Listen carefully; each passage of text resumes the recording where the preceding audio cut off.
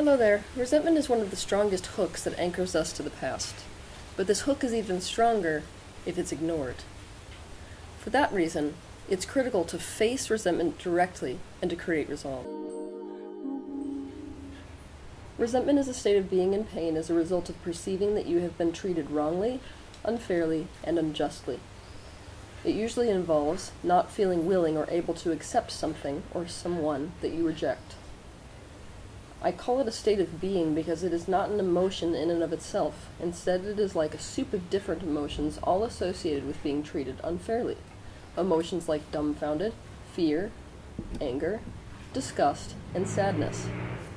One of the main challenges as far as resentment is concerned is that it instantly converts itself to distrust.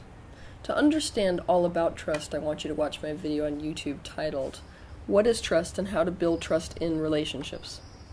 Trust is essentially the ability to rely on the fact that somebody is going to capitalize on and consider your best interests. Now, think about being treated unfairly, unjustly, or wrongly. Obviously, someone's proved to you that you cannot rely on them to capitalize on and consider your best interests.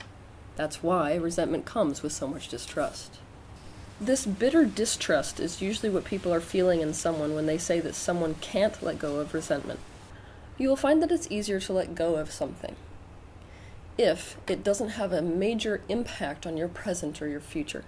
But when it comes to chronic resentment, you will find that usually it involves some unjust treatment that does have a big negative impact on your present or your future. For example, if your husband or wife spends all the money in your account on gambling, that may mean that you lose your house in the present and that you can't afford to put your kid through college in the future even if these kind of big consequences don't exist, distrust still exists. This means you will feel closed off and like an enemy to that person in your life now, and you will expect them to betray you again in the future. Now, fair versus unfair and wrong versus right is a matter of perspective. It is a highly subjective concept.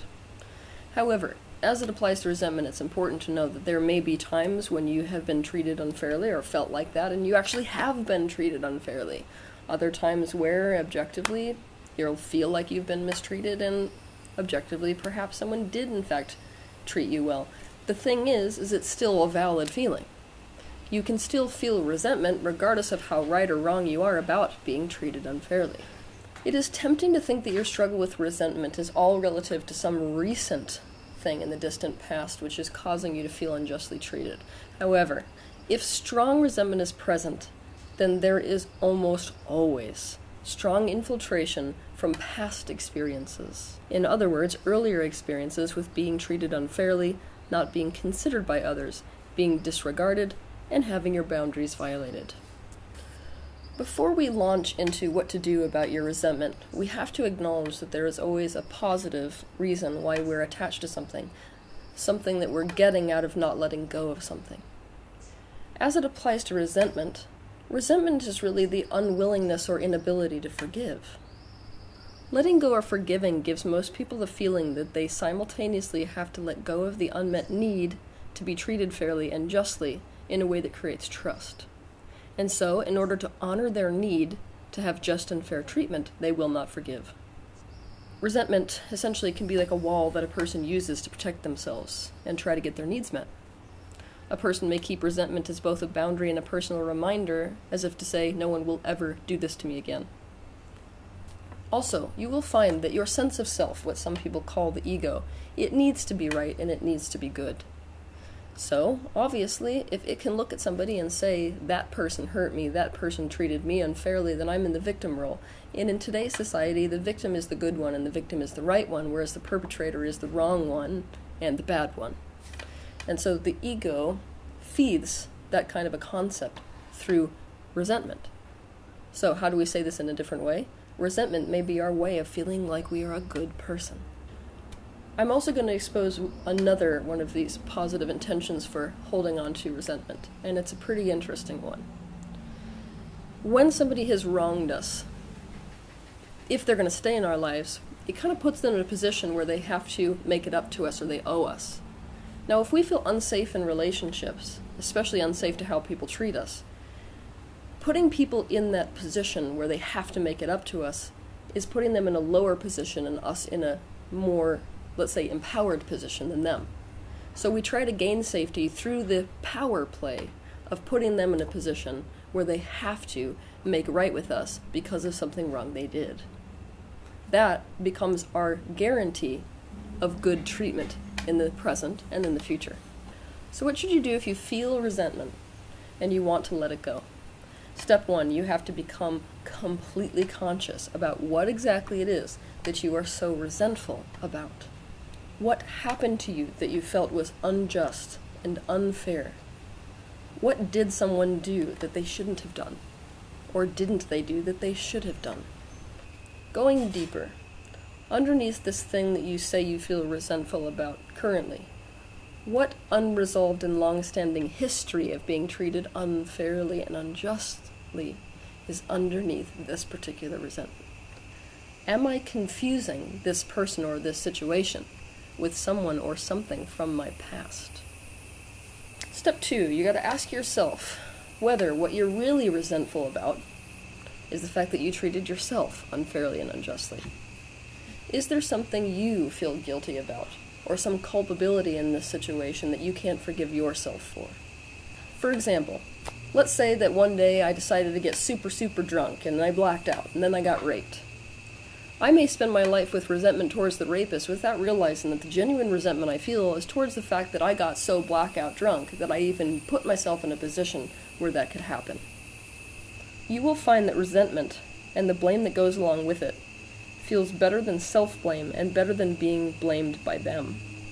Sometimes we can only let go of resentment towards others if we let go of the resentment we hold towards ourselves. Step three, get really, really clear about the impact that this resentment is having on your life. I want you to close your eyes and think.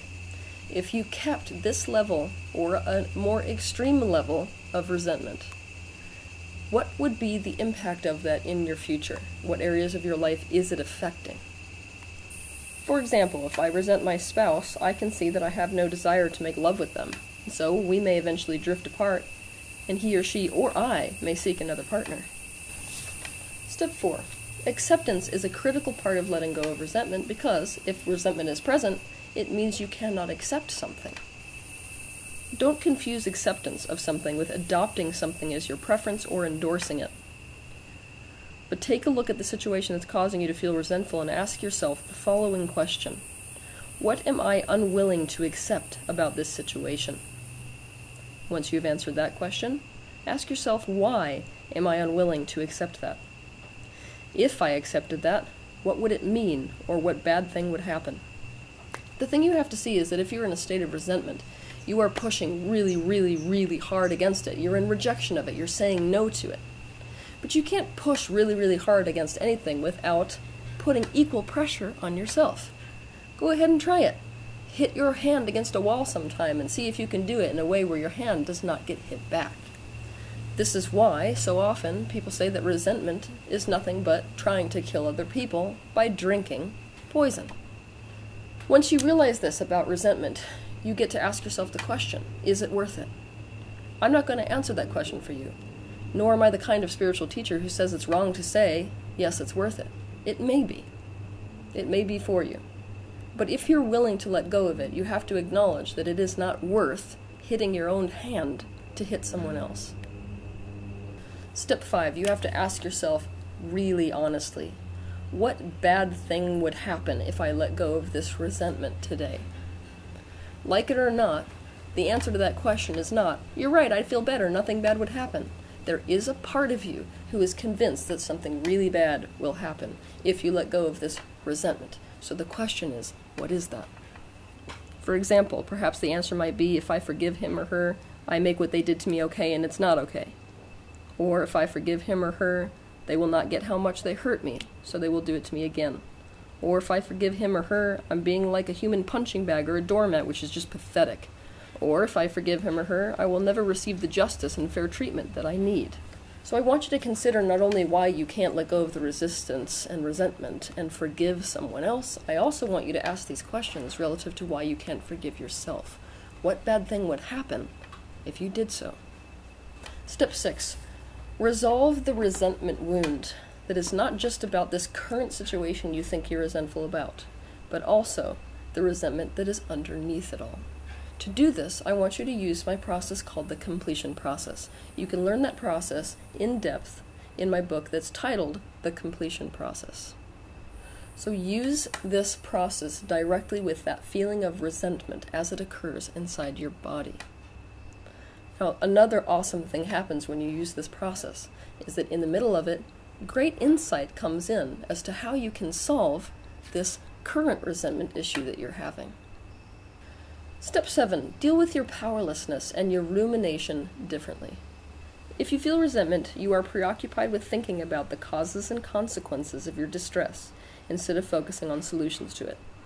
This is your being's natural way of trying to draw focus to the wound that is not healed, but the decision to look for solutions to the distress and solutions for how to make the present or future different in a positive way turns your focus in a different direction, a direction that will lead to results instead of pain. It may help you to look at the worst case scenario, and not only to figure out what you learned from this situation that happened that you're feeling resentful about, but also what could you do? What power do you have relative to the worst case scenario? What actions could you take? This will help you to no longer fear being blindsided by it. If you're struggling with resentment, the reality is is that you spend your time vacillating between two emotions. Those emotions are powerlessness and the terror and fear associated with that powerlessness, and anger slash rage.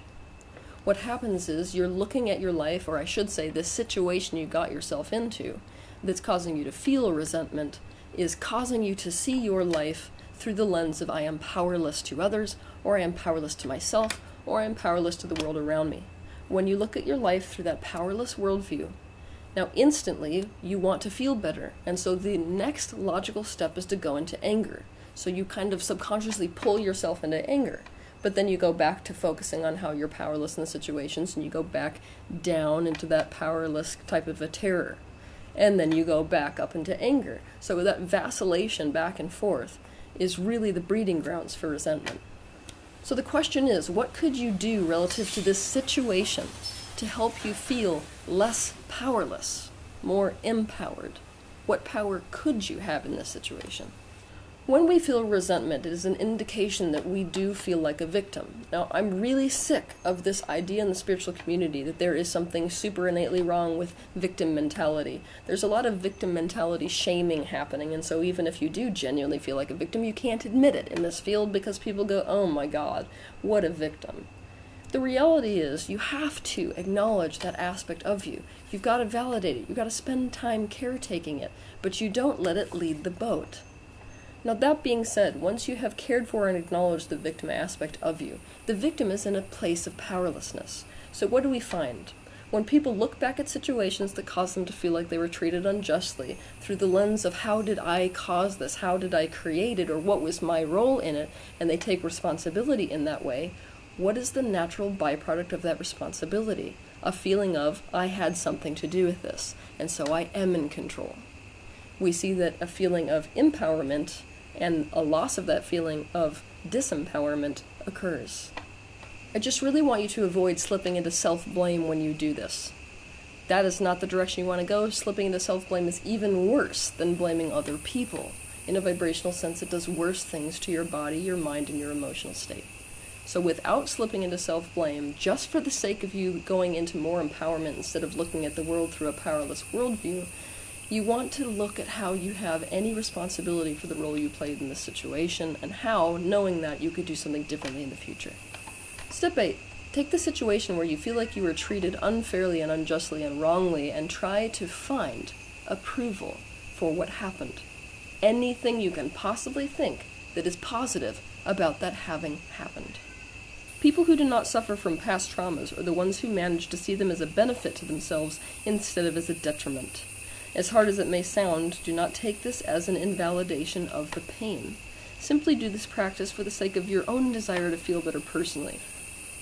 Earlier in this video I explained that if you've got resentment, it is that you are unwilling to accept something that you judge as wrong or bad. You cannot accept something that you do not like. How do you get yourself to accept something? you get really aggressive with it. The most aggressive way to accept is to find approval for something. If you find approval, instead of saying no to something, you're saying yes to it. So focus towards what happened in a way where you can agree with it instead of disagree with it. Part of this process should involve looking at how the situation could have been worse than it was.